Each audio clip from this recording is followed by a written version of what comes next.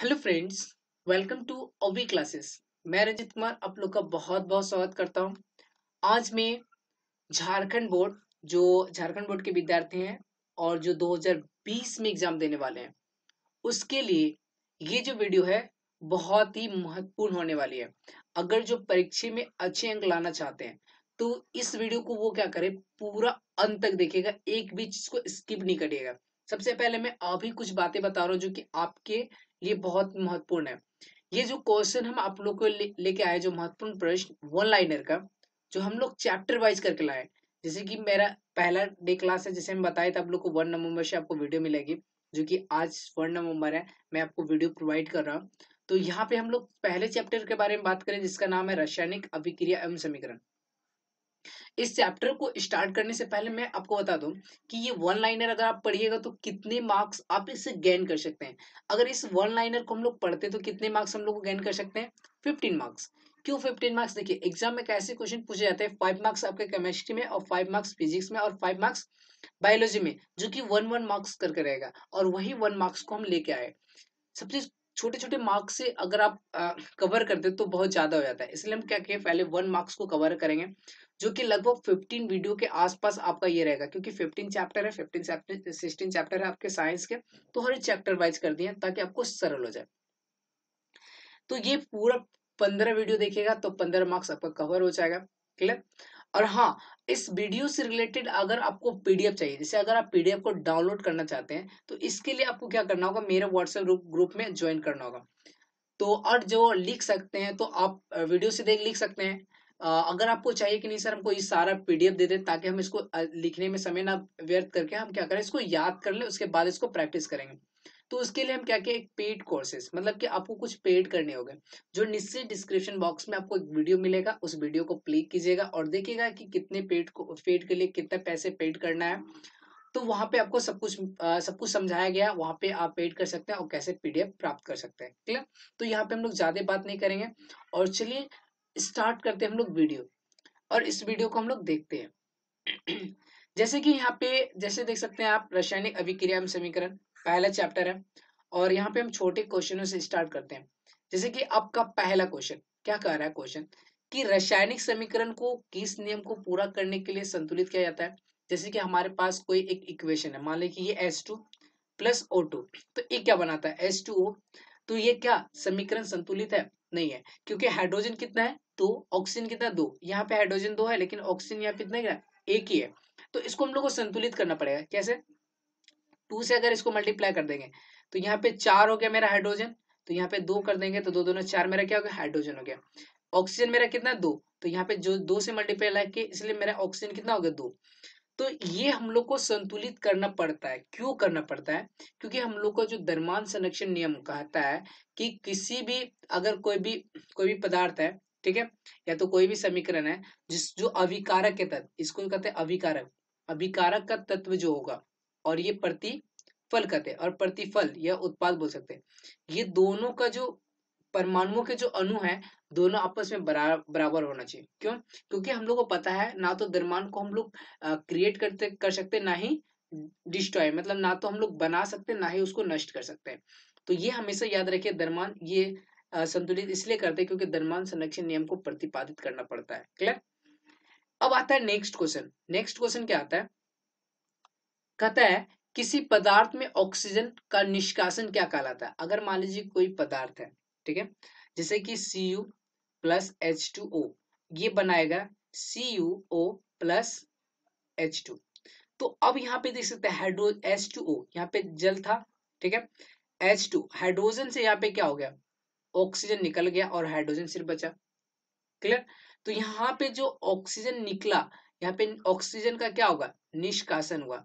अगर ये ऑक्सीजन से, ऑक्सीजन का निष्कासन हुआ तो इसको हम लोग क्या कहेंगे? अगर किसी पदार्थ से ऑक्सीजन का निष्कासन, जैसे यह जल है, जल से ऑक्सीजन का निष्कासन हुआ तो हम इसको क्या कहेंगे?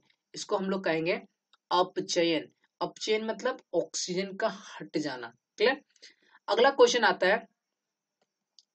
श्वसन को, श्वसन जो करते हैं, ये किस प्रकार की रासायनिक अभिक्रिया है? जैसे हम लोग श्वसन करते हैं, सांस लेते हैं। सांस लेते हैं तो ऑक्सीजन हमारे शरीर के अंदर जाती है। और शरीर के अंदर क्या होता है? जो हम लोग पदार्थ जो भी खाते हैं उस मतलब के अंदर एक क्रिया होती है। और उस क्रिया को होने से क्या होता है, वहाँ पे मतलब कि उष्मा उत्पन्न होती है। तो उष्मा उत्पन्न होती है तो इसको हम लोग क्या कहते हैं, उष्मा छेपी।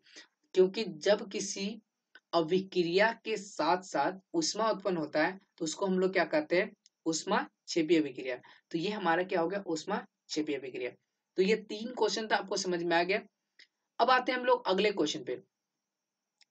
अगला क्वेश्चन मेरा फ़र्स्ट नंबर क्वेश्चन आता है कि विस्थापन अभिक्रिया का एक उदाहरण दीजिए।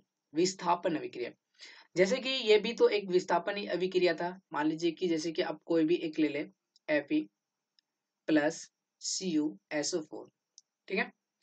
अब यहाँ पे एक चीज़ ध्यान रखना, विस्थापन क्यों होती है? क्योंकि देखिए, जो अधिक अभिक्रियाशील धातु होते हैं या तत्व होते हैं, वो क्या करते हैं? कम क्रियाशील तत्व को किसी यौगिक से उसको विस्थापित कर देता है, उसको कहते हैं विस्थापन। अगर यहाँ पे देखिए कॉपर कॉपर क्या है? कम अभिक्रियाशील है, ठीक है?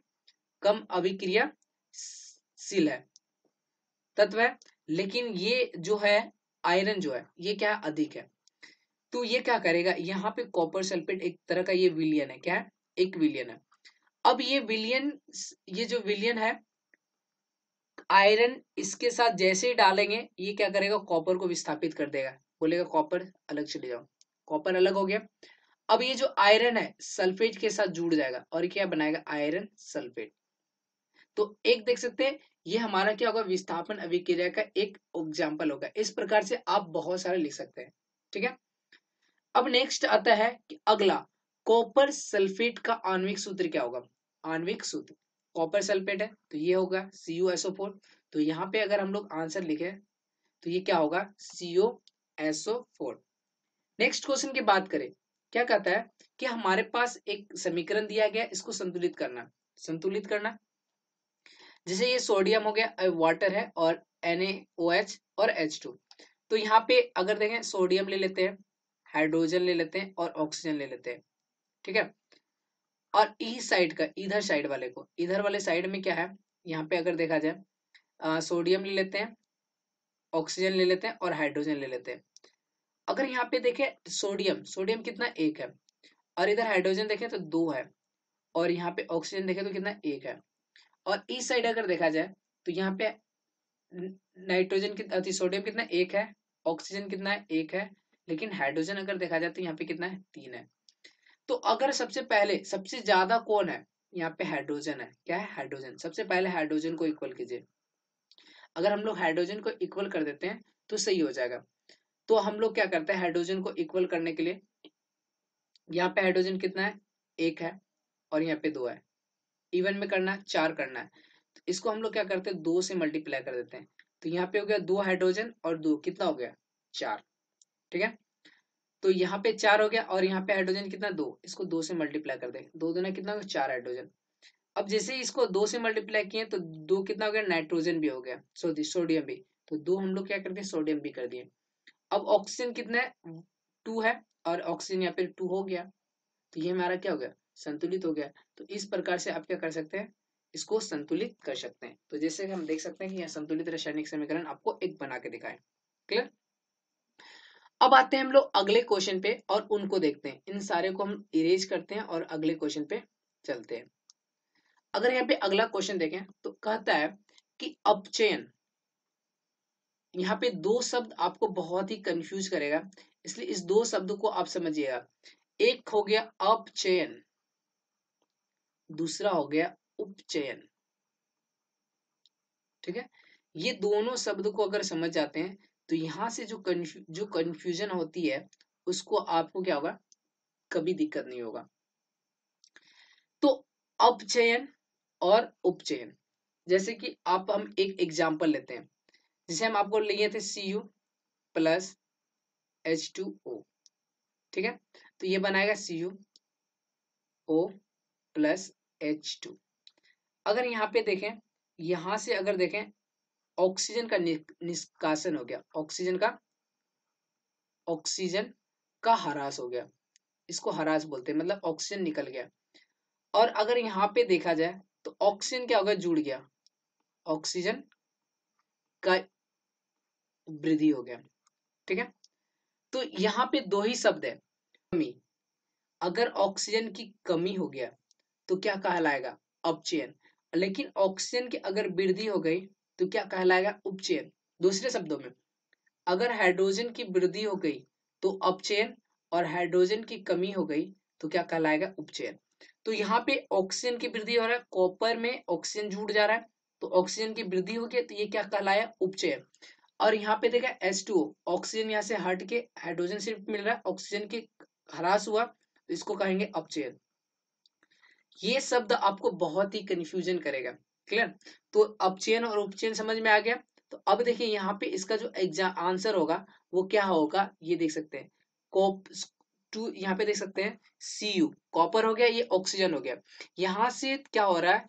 कॉपर में जुड़ जा रहा है।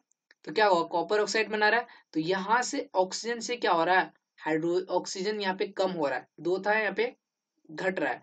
तो ये कॉपर क्या हो गया? उपचयित हो गया। इसे मतलब यहाँ पे क्या हो गया? अपचयन हो गया। ऑक्सीजन यहाँ पे ऑक्सीजन क्या हो गया? अपचयन हो गया, क्योंकि ऑक्सीजन का ह्रास हो गया। या तो आप इस एग्ज़ाम्पल को भी लिख सकते हैं क्लियर नेक्स्ट क्वेश्चन पे आते हैं अगला।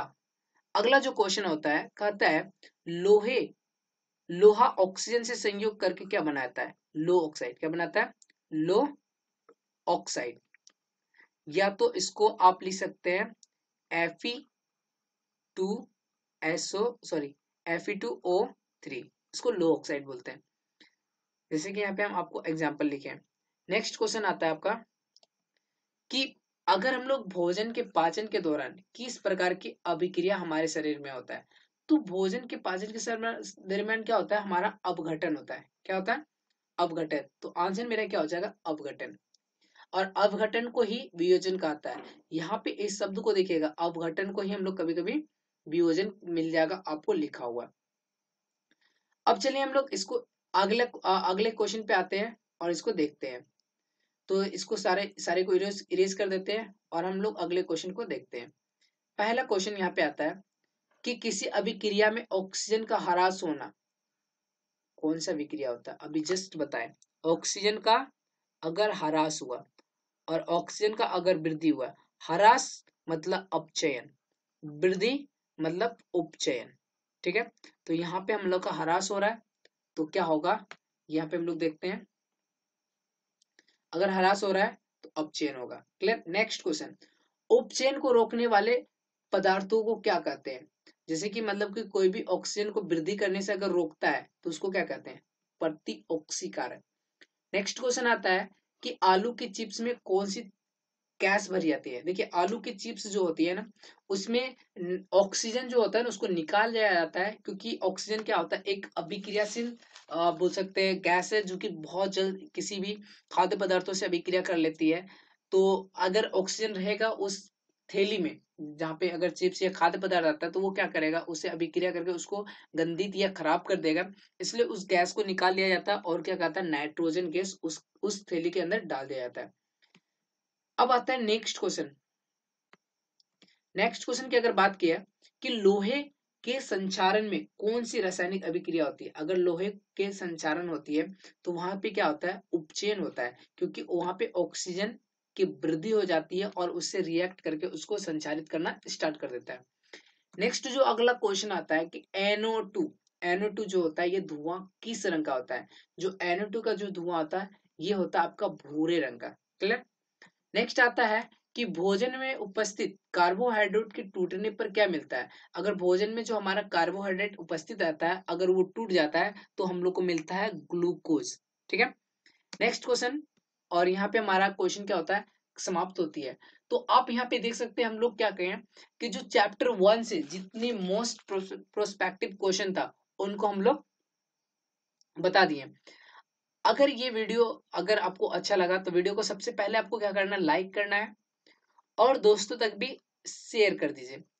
और अगर आपको पीडीएफ चाहिए तो उसके लिए हम आपको बताएँ, नीचे एक वीडियो लगा हुआ है। उस वीडियो को देखें कि वीडियो को हम कैसे डाउनलोड कर सकते हैं। वहाँ पे सारा प्रक्रिया बताया गया तो चलिए हम लोग मिलते हैं अगले पार्ट्स में। तब तक के लिए बाय